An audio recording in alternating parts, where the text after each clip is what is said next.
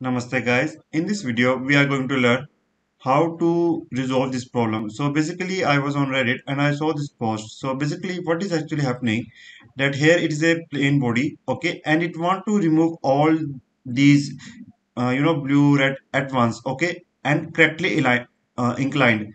So how he can, you know, resolve this? So in this video, I'm going to show you how you can approach this problem.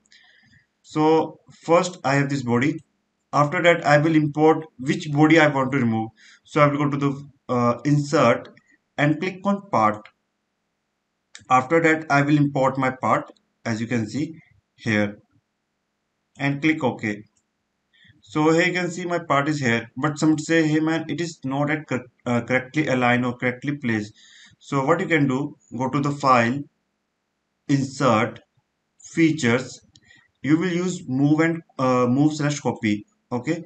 So select the thing that you want to move. So for example i want to move this one.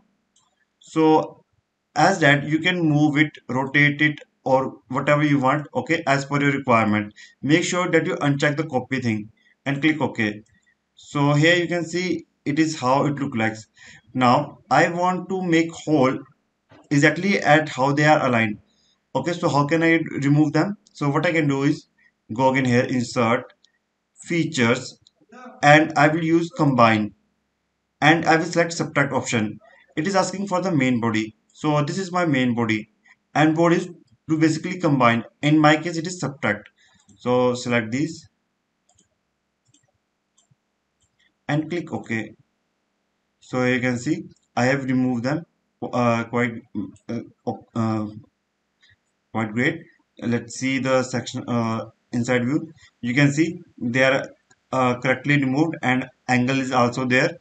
Okay? So in that way you can remove as per your requirement. It's quite useful. It is not a difficult thing. So i hope you learned something from this video. And please support me on super chat so it will help me to create more and better content plus i can buy better gear if anybody supports. So thanks for watching and have a great day. Namaste